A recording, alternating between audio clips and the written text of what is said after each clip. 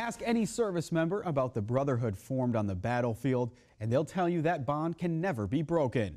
And that's especially true for a group of war vets who have taken that bond from the battlefield to the ball field.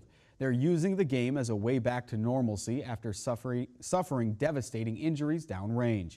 Here are the stories of the Wounded Warrior amputee softball team.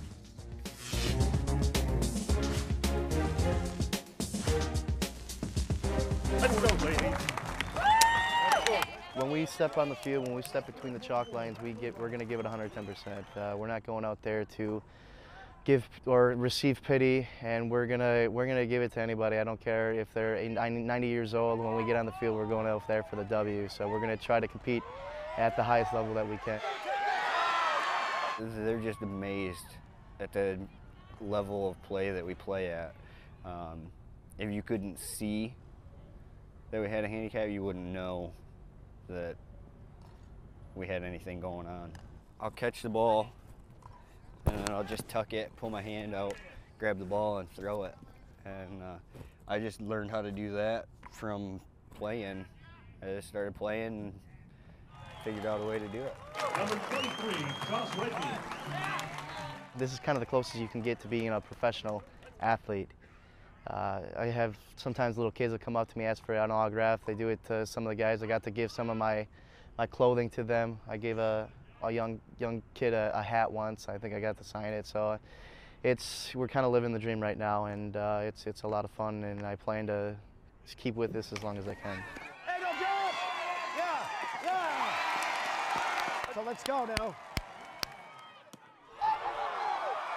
Joining the team has just been amazing. It's life changing. Being able to get out here and be with guys that can relate to what I go through on a daily basis. Because back home, I don't have anybody that was. Uh, I have some military friends, but none of them were injured. I've never been a part of a team where, where you have two things in common right away. Uh, when, when, right when we come out, we all had a traumatic injury. We all served in the military, so there's automatically that brotherhood that they talk about. His is mine, and what mine is his. These guys inspire me. I am a little older than all of them, but watching them diving into the bases and diving in the outfield, uh, it's crazy. I, I don't do that, you know, but uh, it's fun to watch them. And like yesterday, going to the VA, visiting those guys, that means a lot. You know, as much as it means to them, it means to us. It means so much more than just playing a sport. Um, I didn't want to get out of the Marine Corps. I loved the Marine Corps. We go back to the Marine Corps. Both my legs were messed up, and I was basically forced, you know, done deal. And the brotherhood is nowhere in the civilian world that I've found so far. Being with these guys is what it's all about.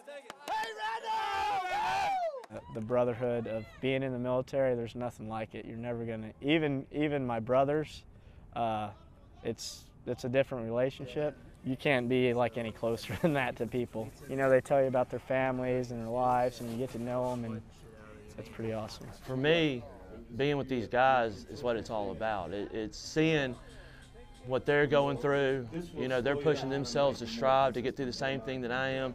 They've had the same shortcomings and hiccups through their recovery that I've had. It's just nice to be around other people who've been through the same thing. Who you can, hey man, how'd you, what did you do with this? What do you do whenever, you know, you got blisters all over this, or what, you know, how are you rehabbing that situation?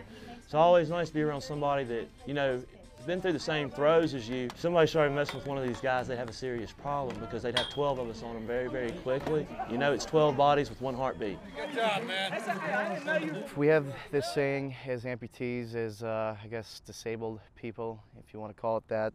It's called getting back your new normal. And my normal before I got hurt was playing sports, uh, living a pretty active life. And this team has, has filled that gap. I can officially call my new normal complete uh, because I'm back into sports and I wasn't going to let anything stop me from getting back, but uh, it certainly has filled that, that void. You can do anything you want to if you put your mind to it. And for me personally, uh, God got me through all that. There's a reason he saved our lives. We're here for a reason, and I think this is one of the reasons to encourage other people to get out and do stuff. Come on, Kyle, come on, Kyle! Yeah! Yes, sir! Yes, sir, buddy. I knew we had him in right field for some reason. He can fly, man. The kid can fly. Don't be complacent with where you are. You know, if things aren't going right, don't don't fall into that trap of oh, I'm stuck here. You know, reach back inside yourself and push because you were more than that in the first place, and there's still more than that inside of you. So don't settle. You know, don't settle for less because you can be great. Anybody can. Good job. Way to put it out there, baby. We don't just come out here to put on a show and get sympathy. We're out here to show everybody that even though we may be different and have physical limitations, they're not holding us back, and uh, we can hold our own with anybody. Go!